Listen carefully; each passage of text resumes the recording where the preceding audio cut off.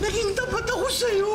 Tapos ganito ang gagawin mo. Haharapin na nila ang galit ni Carding.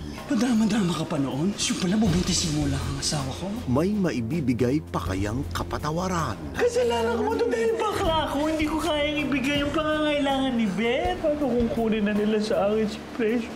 Sa huling dalawang linggo ng Dading pagkatapos ng The Half Sisters.